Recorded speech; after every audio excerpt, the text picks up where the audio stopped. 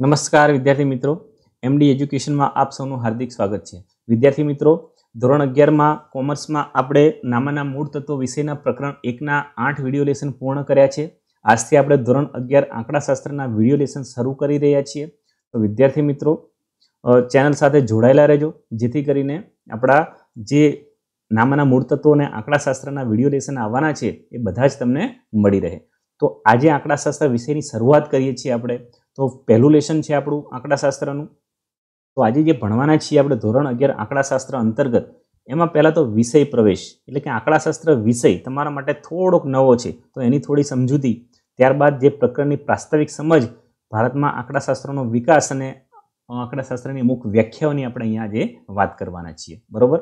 તો શરૂ કરીએ આજનું વીડિયો લેસન તો સૌ પહેલાં તો વિષય પ્રવેશની વાત છે. વિદ્યાર્થી મિત્રો, ધોરણ અગિયારની અંદર આંકડાશાસ્ત્ર એક વિષય તરીકે તમને મળે છે. આંકડાશાસ્ત્રથી તમે પરિચિત છો. ધોરણ નવ અને દસની અંદર ગણિત વિષયમાં તમને આંકડાશાસ્ત્ર એક પ્રકરણ તરીકે ભણી જ ગયેલા છો. આથી એનાથી તમે પરિચિત છો. એટલે હવે આપણે એમાં થોડોક એડવાન્સ અભ્યાસ કરવાનો છે. તો ધોરણ અગિયારના આંકડાશાસ્ત્ર વિષયના પાઠ્યપુસ્તકમાં તમને જે પ્રકરણો આપેલા છે, એ પ્રકરણોની આપણે સૌ પહેલાં તો નોંધ લઈ લઈએ કે કયા કયા પ્રકરણો આપણે ભણવાના છે. કુલ નવ પ્રકરણ આપણે ભણવાના છે. એમાંથી તમારું પહેલું પ્રકરણ છે માહિતીનું એકત્રીકરણ, કે જે આજથી આપણે સ્ટાર્ટ કરી રહ્યા છીએ. બરાબર? બીજું પ્રકરણ છે તમારું માહિતીનું નિરૂપણ. અહીંયા માહિતીની જ વાત છે, આંકડાશાસ્ત્રની વાત કરીએ છીએ, એટલે કે આંકડાશાસ્ત્રની અંદર સંખ્યાત્મક માહિતીની જરૂર પડે. એટલે એ સંખ્યાત્મક માહિતીઓની જે વાત છે, એના આધારે જ આપણા પ્રકરણો ચાલવાના છે. અને એ જ આપણું આંકડાશાસ્ત્ર છે. બરાબર? આંકડાશાસ્ત્ર મતલબ આંકડાઓનું શાસ્ત્ર. એટલે કે સંખ્યા સંખ્યાત્મક માહિતી બહુ ખૂબ જ જરૂરી અને ઉપયોગી છે આપણા આંકડાશાસ્ત્ર વિષય માટે. ત્રીજું આપણું જે પ્રકરણ છે, મધ્યવર્તી સ્થિતિના માપ. વિદ્યાર્થી મિત્રો, તમે નવમા અને દસમા ધોરણની અંદર ગણિત વિષયની અંદર મધ્યસ્થ મધ્યક અને બહુલક આ ત્રણ નામથી પરિચિત છો. એના દાખલાઓ તમે ગણેલા છે. તો એ છે મધ્યવર્તી સ્થિતિના માપ. તો એને આપણે થોડા આગળ ભણવાના છે થોડા એડવાન્સ લેવલે થોડા આપણે ભણવાના છે એટલે તમારા માટે આમાં કંઈ નવું છે નહીં. એટલે ખૂબ સરસ રીતે આપણે ભણી શકીશું. આપણને બેઝિક જ્ઞાન છે, માટે આપણા માટે કશું નવું છે નહીં. અને ભણવાની ખૂબ જ મજા આવશે. આંકડાશાસ્ત્ર એ ખૂબ જ રસનો વિષય છે. એટલે જોડાયેલા રહેજો મારી સાથે. ભણવાની તમને ખૂબ મજા આવવાની છે. ઓકે? ચોથું પ્રકરણ છે આપણું પ્રસારમાન. જેમ મધ્યવર્તી સ્થિતિના માપ છે, એમ પ્રસારમાનના માપો છે. ડિટેલમાં એ વખતે આપણે સમજાવીશું. ફક્ત આપણે ઝલક લઈ લઈએ છીએ કે કયા કયા પ્રકરણો આવવાના છે, જેથી કરીને આપણા મગજમાં બેસે કે આટલું આપણે ભણવાનું છે. આગળનું પ્રકરણ હશે આવૃત્તિ વિતરણની વિષમતા. આપણે આવૃત્તિ વિતરણ તૈયાર કરતા શીખેલા છીએ ધોરણ નવની અંદર. તો એની ડિટેલમાં આપણે થોડી સમજ મેળવવાની છે કે વિષમતા શું હોય એની. ત્યારબાદ છઠ્ઠું ચેપ્ટર છે તમારું ક્રમચય, સંચય અને દ્વિપદી વિસ્તરણ. એટલે ક્રમચય, સંચય, ગોઠવણી અને પસંદગીના આધારની અહીંયા વાત છે. ગોઠવણી અને પસંદગીને આપણે આંકડાશાસ્ત્રમાં કેવી રીતે સમજી શકીએ? એનું તમારું આ ચેપ્ટર છે દ્વિપદી વિસ્તરણ, કે જે તમે ધોરણ દસમાની અંદર બહુપદીઓ જે ભણેલા છો ને, એના આધારે એ તમારું જે સમીકરણ બને છે, દ્વિઘાતવાળું, ત્રિઘાતવાળું, ચારઘાતવાળું, એ કેવી રીતે સોલ્વ થાય છે? એની તમને આંકડાશાસ્ત્રની રીતે સમજૂતી આ ચેપ્ટરમાં મળવાની છે.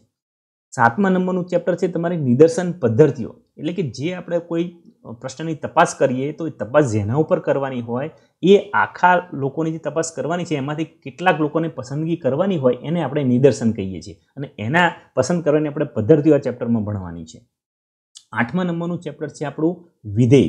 અને નવમા નંબરનું ચેપ્ટર છે ગુણોત્તર શ્રેણી. બરાબર? બધાની ડિટેલમાં ચર્ચા નથી કરતો. એ જે ચેપ્ટર વખતે આપણે ખૂબ જ સારી રીતે આપણને ન્યાય આપવાનો છે, બરોબર? તો નવું પ્રકરણ આપણે વર્ષ દરમિયાન ભણવાના છે. વિદ્યાર્થી મિત્રો, આ વર્ષે કોરોના મહામારીને હિસાબે શાળાઓ ખુલી નથી, તો સરકારની વિચારણા હેઠળ ચાલીસ ટકા અભ્યાસક્રમ કાપ મૂકવાની ગણતરી છે, બરોબર? તો એ દ્રષ્ટિએ આમાંથી અમુક ચેપ્ટરો આપણે નીકળી જવાના છે. એટલે ખાસ કરીને પાછળના જે ચેપ્ટરો હશે, વિધેય અને ગુણોત્તર શ્રેણી, એ કદાચ આપણે ભણવાના નહીં આવે. આવું પ્રારંભિક મારું અનુમાન છે. પછી જે નક્કી થાય તે. પણ આપણે ચેનલ તમે જોતા રહેજો. ચેનલમાં આવતો હું નવે નવ ચેપ્ટર ભણાવવાનો છું તમને. બરાબર? કારણ કે બારમા ધોરણ માટે પણ વિધેય ચેપ્ટર ભણવું ખૂબ જ જરૂરી છે. એટલે આ ચેપ્ટર જો અભ્યાસક્રમમાં ન હોય, છતાં પણ તમે જોજો. ઓકે? જેથી કરીને ધોરણ બારમાં આપણને તકલીફ પડે નહીં. તો ઝડપથી આજે શરૂઆત કરીએ છીએ આપણા સૌ પ્રથમ પ્રકરણ, માહિતીનું એકત્રીકરણ કલેક્શન ઓફ ડેટા ડેટાને આપણે ગુજરાતી શબ્દ માહિતી છે, અંગ્રેજી શબ્દને ડેટા કહીએ છીએ. બરાબર? સંખ્યાત્મક જથ્થો હોય એને ડેટા કહેવાય, માહિતી કહેવાય છે. તો ચાલો શરૂઆત કરીએ માહિતીનું એકત્રીકરણ પ્રકરણની. બરાબર? પ્રસ્તાવનાની વાત છે, પ્રાસ્તાવિક. તો કે આંકડાશાસ્ત્રનો ઉદ્ભવ અને વિકાસની વાત છે. કેવી રીતે આંકડાશાસ્ત્રનો ઉદ્ભવ અને વિકાસ થયો? તો આંકડાશાસ્ત્રનો ઉદ્ભવ અને વિકાસ એની અંદર ભારતનું જે પ્રદાન છે કે આંકડાશાસ્ત્રમાં ભારતની અંદર આંકડાશાસ્ત્ર ક્યારથી અમલમાં આવ્યું હશે, ક્યારથી ચર્ચાતું આવ્યું હોય, તો એવું અનુમાન છે કે તેનું પ્રદાન, ભારતનું પ્રદાન આંકડાશાસ્ત્રમાં મૌર્ય યુગ, ઈસવીસન પૂર્વે પૂર્વે ત્રણસો એકવીસથી બસો ને છન્નું. તમને પાઠ્યપુસ્તકની અંદર ત્રણસો એકવીસથી બસો છન્નું આપેલું છે ઈસવીસન પૂર્વે, પણ ખરેખર ઈસવીસન પૂર્વે ત્રણસો એકવીસથી લઈને એકસો ને ચોર્યાસી પંચ્યાસીનો સમયગાળો રહેલો છે મૌર્ય યુગનો, બરાબર? તો અહીંયા તમને જો ચિત્ર દર્શાવેલું છે, મૌર્ય યુગ આવે એટલે આપણને ચંદ્રગુપ્ત મૌર્યનું નામ સીધું જ મગજમાં બેસે છે. તો ચંદ્રગુપ્ત મૌર્યનું અહીંયા એક સભાગૃહ છે કે એમના વખતે પણ આંકડાશાસ્ત્ર ત્યારે અમલમાં હતું એવું આપણે જૂના સાહિત્ય ગ્રંથો ઉપરથી માનીએ છીએ કે એ વખતે પણ એની ચર્ચાઓ ત્યાં થતી હતી અને જુદા જુદા હિસાબો લખવામાં એ લોકો એનો ઉપયોગ કરતા હતા. બીજી બાબત છે કે મોગલ સમ્રાટ અકબર, અકબરનું નામ આપણે સાંભળેલું છે, અકબર બિરબલ. તો એના શાસન દરમિયાન એના જે નવ રત્નો હતા, એમાંનું એક રત્ન હતું અબુલ ફઝલ, કે અહીં તમને ચિત્રમાં દર્શાવેલા છે. તો એ અબુલ ફઝલે અકબરનામામાં જે આઈને અકબરી પુસ્તક લખેલું છે, આ પુસ્તકની અંદર આંકડાશાસ્ત્રનો ઉલ્લેખ કરેલો છે. એટલે કે એ વખતે અકબરના જમાનામાં પણ, એમના શાસનમાં પણ જ્યાં જરૂર જણાતી હતી હિસાબોની, તો એ હિસાબોમાં આંકડાશાસ્ત્રનો ઉપયોગ કરી અને પછી બધી હિસાબો લખતા અથવા તો કોઈ નિષ્કર્ષ ઉપર આવતા હતા. તો તમને પરીક્ષામાં પૂછાય. વિદ્યાર્થી મિત્રો, અહીંયા જે પોઈન્ટો આપું છું, દરેક પોઈન્ટ ખૂબ જ અગત્યના છે. પરીક્ષાને લગતા પોઈન્ટ છે કે જેમાંથી જ પરીક્ષામાં તમને પ્રશ્નો પૂછાતા હોય છે. બરાબર? એટલે ખાસ ધ્યાન દઈને ભણવાના છે ને તમારે યાદ રાખવાના છે. તમને યાદ રહે એટલા માટે અહીંયા જે તે ચિત્ર સાથે હું તમને દર્શાવું છું, જેથી તમને મગજમાં યાદ પણ રહી જાય. બરાબર? તો અહીંયા અબુલ ફઝલ અને આઈને અકબર યાદ રાખવાનું છે. અકબરના જમાનાની અંદર અબુલ ફઝલ જે હતા, એ એમના પુસ્તક આઈને અકબરીમાં તમને પ્રશ્ન પૂછાય, કયા પુસ્તકમાં ઉલ્લેખ થયેલો? તો તમને પુસ્તકનું નામ આઈને અકબરી યાદ રહેવું જોઈએ, બરોબર? તો મુઘલ સમ્રાટ અકબરના શાસન દરમિયાન પણ આંકડાશાસ્ત્રનો ઉલ્લેખ જોવા મળે છે. ત્યારબાદ, સ્ટેટિસ્ટિક શબ્દની વાત કરીએ. અહીં સ્ટેટિસ્ટિક શબ્દ લખ્યો છે, એમાં કે લખેલો છે. તો આ જર્મન શબ્દ છે. તો વિદ્યાર્થી મિત્રો, સ્ટેટિસ્ટિક શબ્દ જે જર્મન શબ્દ છે, એનો સૌ પ્રથમ ઉપયોગ સત્તરસો ને ઓગણપચાસમાં જર્મન અર્થશાસ્ત્રી ગોટફ્રીડ એકેન વોલે કર્યો હતો. આ જે ચિત્ર છે, એ સર ગોટફ્રીડ એકેન વોલનું છે કે જેમને સત્તરસો ને ઓગણપચાસમાં સૌ પહેલાં સ્ટેટિસ્ટિક શબ્દનો ઉપયોગ કરેલો. આંકડાશાસ્ત્ર એને એને એના ઉપરથી આપણે સ્ટેટિસ્ટિક શબ્દ આવેલો છે કે જેને આપણે ગુજરાતી ભાષામાં આંકડાશાસ્ત્ર કહીએ છીએ. તો આ પણ તમારા અગત્યનો પ્રશ્ન છે. પૂછી શકે કે સ્ટેટિસ્ટિક શબ્દનો સૌપ્રથમ ઉપયોગ કોણે કર્યો હતો? ક્યારે કર્યો હતો? તો ગોટફ્રીડ એકેન વોલે અને સત્તરસો ને ઓગણપચાસમાં એ આ બે બાબતો તમારે યાદ રાખવાની છે. બરાબર? બીજી બાબત કે આંકડાશાસ્ત્રનો ઉલ્લેખ સત્તરસો ને સત્તાણુંમાં એન્સાયક્લોપીડિયા બ્રિટાનિકામાં થયો હતો. હવે એન્સાયક્લોપીડિયા બ્રિટાનિકા એટલે શું? વિદ્યાર્થી મિત્રો, એન્સાયક્લોપીડિયા બ્રિટાનિકા એક જ્ઞાનકોશ છે. જ્ઞાનકોશ એટલે ખ્યાલ આવે છે તમને? કે બધી જ જાતની માહિતી તમને એમાંથી મળી રહેતી હોય. કોઈ શબ્દ આપણે અત્યારે ગૂગલ છે ને? ગૂગલ તો બહુ જાયન્ટ જ્ઞાનકોશ છે અત્યારનો. તો એ જમાનામાં જ્યારે ગૂગલ નહોતું, ત્યારે આ પુસ્તકો રૂપે બધી માહિતી આપવામાં આવતી હતી અને વર્ષ દરમિયાન એને અપડેટ થતી હતી બધી આવૃત્તિઓ આવતી હતી. તો એન્સાયક્લોપીડિયા હાલમાં પણ છે, બ્રિટાનિકા એન્સાયક્લોપીડિયા. એ જ્ઞાનકોશની અંદર સત્તરસો ને સત્તાણુંમાં આંકડાશાસ્ત્ર શબ્દનો ઉલ્લેખ થયો હતો અને એની માહિતી આપવામાં આવેલી હતી. અહીંયા જે થર્ડ એડિશન છે, સત્તરસો સત્તાણુંની. સત્તરસો સત્તાણુંનો શબ્દ છે, એટલે સત્તરસો સત્તાણુંની મેં થર્ડ એડિશન વાળું પેજ શોધી અને અહીં તમને મૂકેલું છે કે તમે જોઈ શકો કે એ વખતે ઝૂમ કરીને તમને દર્શાવું છું. જુઓ, એન સત્તરસો ને સત્તાણુંની અંદર encyclopaedia Britannica complete third edition કે જેની અંદર જુદા જુદા જુદા માહિતી આપતી હતી. જે નવા શબ્દો અપડેટ થતા હતા, એ બધાની માહિતી તમને જોવા અંદર મળતી હતી. તો એ વખતે સ્ટેટિસ્ટિક શબ્દની માહિતી સત્તરસો સત્તાણુંમાં તમને એન્સાયક્લોપીડિયાના આ એડિશનમાં જોવા મળતી હતી. બરોબર?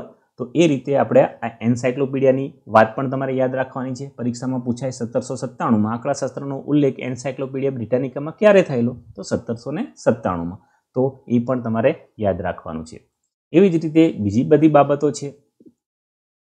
કે આંકડાશાસ્ત્રનો ઉદ્ભવ અને વિકાસમાં અગત્યનો બીજો એક પોઈન્ટ છે કે સૌપ્રથમ આંકડાશાસ્ત્રીય સમિતિ રોયલ આંકડાશાસ્ત્રીય સંગઠનની સ્થાપના ઈસવીસન અઢારસો ચોત્રીસમાં લંડનમાં થઈ હતી. શું યાદ રાખવાનું છે? સૌપ્રથમ આંકડાશાસ્ત્રીય સમિતિ રોયલ આંકડાશાસ્ત્રીય સંગઠનની સ્થાપના ક્યાં અને ક્યારે થઈ હતી? તો અઢારસો ને ચોત્રીસમાં લંડનમાં થઈ હતી. એની તમને ઇમેજ પણ બતાવું છું. રોયલ આંકડાશાસ્ત્રીય સંગઠન લંડન એની બિલ્ડિંગ છે એ અઢારસો ને ચોત્રીસમાં એની સ્થાપના થઈ હતી અને એમાં પછી આંકડાશાસ્ત્રને લગતી વિવિધ પ્રવૃત્તિઓ થઈ, થતી હતી. બરાબર? ગાણિતીય આંકડાશાસ્ત્રના રચયિતા. જે આંકડાશાસ્ત્ર છે એમાં પાછો પાઠ પડ્યો કે ગણિતીય આંકડાશાસ્ત્ર તો ગણિતીય આંકડાશાસ્ત્રના રચિયા કોણ? તો કાલ પિયર્સન હતા. તો આ પણ બાબત તમારે યાદ રાખવાની છે કે ગણિતીય આંકડાશાસ્ત્રના રચયિતા કોણ? તો કાલ પિયર્સન. એમણે શું કર્યું? ઓગણીસો ને અગિયારમાં લંડનમાં આંકડાશાસ્ત્રીય પ્રયોગશાળા અને યુનિવર્સિટીમાં આંકડાશાસ્ત્રીય વિભાગની સ્થાપના કરી હતી. અઢારસો સત્તાવનથી લઈને ઓગણીસો છત્રીસનો જે કાલ પિયર્સનનો સમયગાળો હતો, એની અંદર કાલ પિયર્સન ખૂબ જ મોટા આંકડાશાસ્ત્રી થઈ ગયા કે જેમણે સૌપ્રથમ આંકડાશાસ્ત્રીય વિભાગની સ્થાપના કરી હતી લંડનની યુનિવર્સિટીમાં. બરોબર?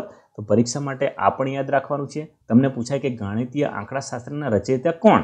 તો કાલ પિયર્સન કાલ પિયર્સનનું નામ તમારે હવે સ્ટેટિસ્ટિક ભણો છો, તો જેમ ભણતા જશો કાલ પિયર્સન તમારે આવવાના જ છે. ઘણી બધી એમની શોધો કરેલી છે અને ઘણી બધી એમની રીતો છે આંકડાશાસ્ત્રની, જે આપણે હવે પછી અગિયારમાં, બારમામાં કે અગાઉ કોલેજ લેવલે ભણવાની આવશે. બરાબર? નેક્સ્ટ બાબત ફિશરની વાત કરીએ. તો ફિશર કોણ? રોનાલ્ડ ફિશર અઢારસો નેવથી ઓગણીસો ને થઈ ગયા મહાન આંકડાશાસ્ત્રી હતા. એમને શું કર્યું? જેનેટિક્સ બાયોમેટ્રી મનોવિજ્ઞાન, શિક્ષણ, ખેતી આ જુદા જુદા આટલા બધા ક્ષેત્રોમાં એમને આંકડાશાસ્ત્રનો ઉપયોગ કર્યો અને એના આધારે કંઈક નવી શોધો શોધી કાઢી. તો એના આધારે ફિશરને આપણે આંકડાશાસ્ત્રના પિતા તરીકે ઓળખતા થયા છીએ. પરીક્ષામાં તમને પૂછાય, આંકડાશાસ્ત્રના પિતા તરીકે કોને ઓળખવામાં આવે છે? તો ફિશરને, રોનાલ્ડ ફિશરને આંકડાશાસ્ત્રના પિતા તરીકે ઓળખવામાં આવે છે. બરાબર? તો આ પણ તમારે ખાસ યાદ રાખવાનું છે આ બધા પોઈન્ટ ખૂબ જ અગત્યના છે થિયરી માટેના. બરાબર? હજી એક અગત્યનો પોઈન્ટ છે. આ બે લાપ્લાસ અને ઘોષ નામ છે. તમને ઇમેજ બતાવું છું. હા, આ છે આપણા લાપ્લાસ અને આ છે ઘોષ તો આ બે સંભાવના શાસ્ત્રના બે મહાન મહારથીઓ હતા કે જેમાં આંકડાશાસ્ત્ર છે ને, આંકડાશાસ્ત્રની અંદર સંભાવના. એક તમે ભણી ગયા છો ચેપ્ટર ધોરણ દસની અંદર, બરાબર? તો જે સંભાવના ચેપ્ટર છે, તો સંભાવના શાસ્ત્ર આખું અલગ એમને ડેવલપ કર્યું. અને એ લાપ્લાસ અને ઘોષ જે છે, આ બે મહાન મહારથીઓ હતા, જેમને ખૂબ જ શોધો કરી છે સંભાવના વિશેની, સંભાવના શાસ્ત્રની, તો આ પણ તમને પરીક્ષામાં પૂછાઈ શકે કે સંભાવના શાસ્ત્રના બે મહારથીઓ કોણ? તો લાપ્લાસ અને ઘોષ તમને વિકલ્પમાં પણ પૂછી શકે કે એમાંનું કોણ હતું? કોઈ એક વિકલ્પમાં લાપ્લાસ હોય અથવા તો ઘોષ હોય, તો એ જવાબ તમારો ત્યાં સાચો આવે. તો આટલી બાબતો આંકડાશાસ્ત્રના ઉદ્ભવ અને વિકાસ અંગેની પોઈન્ટો તમારે યાદ રાખવાની છે કે જે પરીક્ષામાં પૂછાઈ શકે છે મિત્રો. બરાબર? હવે આપણે વાત કરીશું ભારતમાં આંકડાશાસ્ત્ર વિશેની. તો ભારતમાં આંકડાશાસ્ત્રનો ઉદ્ભવ અને વિકાસ શું થયો? કોનું શું પ્રદાન હતું? તો સૌથી જાણીતું જે નામ છે એ છે પીસી મહાલનોબિસ, કે જે અહીં ચિત્રમાં તમને દર્શાવેલા છે. અઢારસો ને ત્રાણુંમાં એમનો જન્મ થયો અને ઓગણીસો બોતેરમાં એમનું મૃત્યુ થયેલું. ખૂબ જ ખૂબ જ મહત્વનું યોગદાન આપણા ભારતમાં એમને આંકડાશાસ્ત્રમાં આપેલું છે. સૌ પહેલી આંકડાશાસ્ત્રીય ભારતીય આંકડાશાસ્ત્રીય સંસ્થાની સ્થાપના પણ એમને જ કરેલી. ઓગણીસો એકત્રીસમાં કોલકાતામાં એમને આ ભારતીય આંકડાશાસ્ત્રીય સંસ્થાની સ્થાપના કરેલી. યાદ રાખવાનું છે જાણીતા આંકડાશાસ્ત્રી કોણ છે? સૌથી વધુ જો યોગદાન રહ્યું હોય તો છે પીસી મહાલનોબિસ. ભારતીય આંકડાશાસ્ત્રીય સંસ્થાની એમને ઓગણીસો એકત્રીસમાં કોલકાતામાં સ્થાપના કરેલી. શું કરેલું ત્યાં? ઓગણીસો ને એકતાલીસમાં કોલકાતા યુનિવર્સિટીમાં સૌ પ્રથમ વખત અનુસ્નાતક કક્ષાએ, એટલે કે માસ્ટર ડિગ્રીએ, આંકડાશાસ્ત્ર વિષયની એ લોકોએ શરૂઆત કરી હતી આપણે ઇન્ડિયામાં. પહેલાં જ્યારે આંકડાશાસ્ત્ર વિષય ભણાવવામાં આવતો જ નહોતો ને, શરૂઆત હતી, તો સૌ પહેલી શરૂઆત માસ્ટર ડિગ્રીએ કરી હતી નાઇન્ટીન ફોર્ટી વન ઓગણીસો એકતાલીસમાં કોલકાતા યુનિવર્સિટીમાં. પીસી મહાલ નોબિસ દ્વારા જ કરવામાં આવેલી હતી. બરોબર? ઓગણીસો ને પચાસની અંદર રાષ્ટ્રીય નિદર્શ તપાસને માન્યતા આપવામાં આવી. રાષ્ટ્રીય નિર્દેશ તપાસ માટેની એમને એક આખી પેટર્ન ઘડી કાઢેલી, જેને ભારત સરકારે માન્યતા આપી અને ઓક્ટોબર ઓગણીસો પચાસમાં એની માહિતી માટેના એકત્રીકરણના પ્રથમ તબક્કાની શરૂઆત થઈ. એ નિદર્શ તપાસ, આખા રાષ્ટ્રની નિદર્શ તપાસ છે, બરાબર? જેમ કે આપણે સેન્સસ ઇન્ક્વાયરી કરીએ ને, તો એને રાષ્ટ્રીય નિદર્શ તપાસ આપણે કહી શકીએ છીએ. એવી જ રીતે Indian agriculture statistical research institute જે છે, એ આઈએએસઆરઆઈ એનું પણ ભારતના આંકડાશાસ્ત્રના વિસા વિકાસમાં ઘણું મહત્ત્વનું યોગદાન રહેલું છે. અહીં તમને જે ઇમેજ છે કે Indian agricultural statistic research institute. આ જે ઇન્સ્ટિટ્યૂટ છે, એને પણ ભારતના આંકડાશાસ્ત્રના વિકાસમાં ખૂબ જ મહત્ત્વનો ફાળો આપેલો છે અને એના ક્ષેત્રે જુદી જુદી શોધો ત્યાં પણ કરવામાં આવેલી છે. નેક્સ્ટ જે છે કે નાઇન્ટીન ફોર્ટી નાઇનમાં હૈદરાબાદમાં રિજિયનલ રિસર્ચ લેબોરેટરી ખાતે કાર્યાત્મક સંશોધનનું એકમ અસ્તિત્વમાં આવ્યું હતું. એ પણ આપણા પીસી મહાલો નોબિસના આધારે, બરાબર? તો આટલું બધું એમનું યોગદાન છે. સાથે સાથે એમને શું કર્યું? નાઇન્ટીન ફિફ્ટી થ્રીમાં આઈએસઆઈ કોલકાતા ખાતે બીજી પંચવર્ષીય યોજનાનું આખું માળખું એમને તૈયાર કર્યું હતું. મિત્રો, તમને ખબર હશે, અત્યારે તો નીતિ પંચ આવી ગયું, પણ એ પહેલાં પંચવર્ષીય યોજનાઓ આવતી હતી. પાંચ વર્ષની યોજનાઓ આખી નક્કી કરવામાં આવતી અને એના આધારે એના અનુમાનો બાંધવામાં આવતા. વિકાસના, કે આટલો વિકાસ આપણે સાધવાનો છે. તો બીજી પંચવર્ષીય યોજના જે હતી, એનું આખું માળખું પીસી મહાલનો વિશે તૈયાર કરેલું હતું અને આંકડાશાસ્ત્રના ઉપયોગ દ્વારા એને તૈયાર કરેલું હતું. ક્યારે? ઓગણીસો ને ત્રેપનમાં. ક્યાં આગળ? કોલકાતામાં. આઈએસઆઈ, કોલકાતા, આઈએસઆઈનો મતલબ ઇન્ડિયન સ્ટાન્ડ સ્ટેટિસ્ટિકલ ઇન્સ્ટિટ્યૂટ બરાબર? આ એની તસવીર છે જે સંસ્થાની, કે જ્યાં કલકત્તામાં એ સ્થાપિત છે, હાલમાં પણ. બરાબર? તો આ ભારતમાં આંકડાશાસ્ત્રનો ઇતિહાસ છે. તમને પરીક્ષામાં પૂછાય કે ભારતમાં આંકડાશાસ્ત્રનો વિકાસ વિશે ચર્ચા કરો, તો આટલી બાબત તમારે ચર્ચા કરવાની. તમને એવું પણ પૂછાય કે ભારતના આંકડાશાસ્ત્રમાં પીસી મહાલ નોબિસનું યોગદાન શું રહ્યું? એને ચર્ચો, તો પણ તમારે આ ચર્ચા કરવાની છે. બરાબર? એટલે કે ભારતમાં આંકડાશાસ્ત્રની વાત આવે, કે પીસી મહાલ નોબિસના યોગદાનની વાત આવે, બધામાં જવાબમાં તમારે આ છ પોઈન્ટો લખવાના છે. એટલે આ છ પોઈન્ટ ખૂબ અગત્યના છે તમારા માટે. એટલે લખી લેજો. તમને પૂછાય તો તમારે આટલું લખવાનું રહેશે. બરાબર? હવે આજના આપણા વીડિયો લેસનની છેલ્લી બાબત આપણે આંકડાશાસ્ત્રની વ્યાખ્યાથી પૂર્ણ કરવાની છે. બરાબર?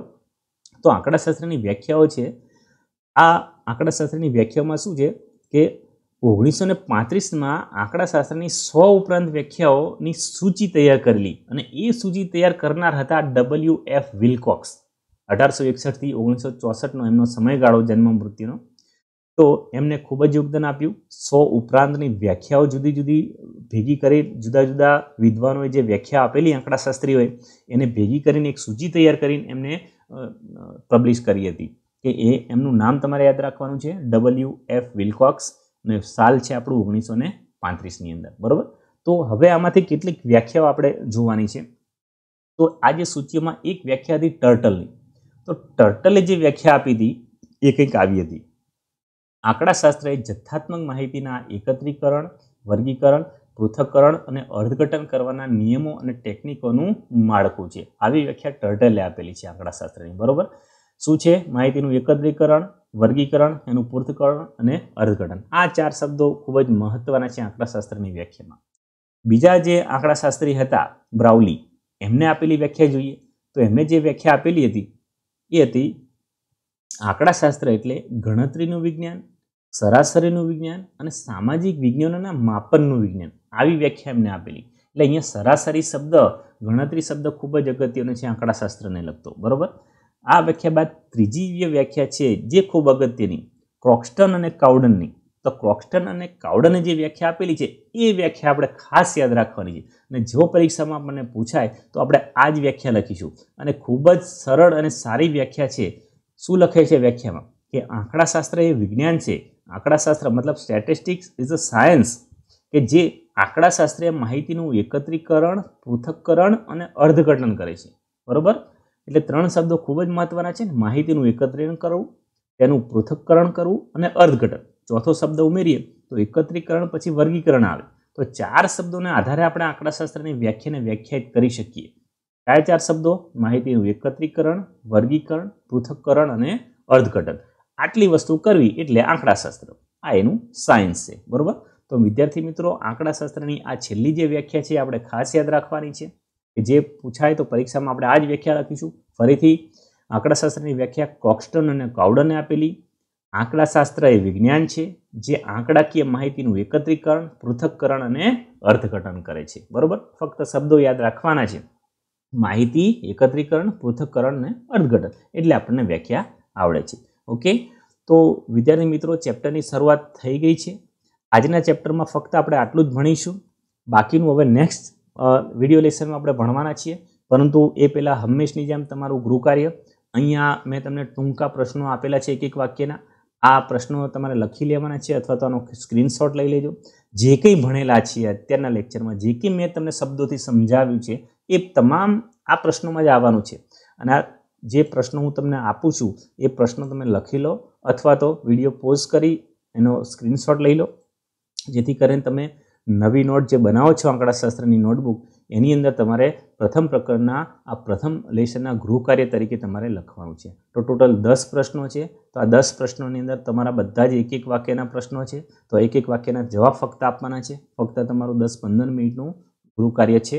પરંતુ ખૂબ સારી રીતે ગૃહ કાર્ય કરજો, જેથી તમને યાદ રહે અને પરીક્ષામાં પણ આપણે આ પ્રશ્નોના જવાબ આસાનીથી લખી શકીએ. બરોબર? જ્યારે પરીક્ષા આવે ત્યારે પણ તમે વીડિયો રિફર કરીને જોઈ શકો છો. તો આજના વિડીયોમાં ફક્ત આટલું જ હતું. વિદ્યાર્થી મિત્રો સબસ્ક્રાઇબ કરજો ચેનલ એટલે વીડિયો જેવા અપલોડ થાય, તેમને તરત તમને નોટિફિકેશન મળે અને તમે વિડીયોને જોઈ શકો.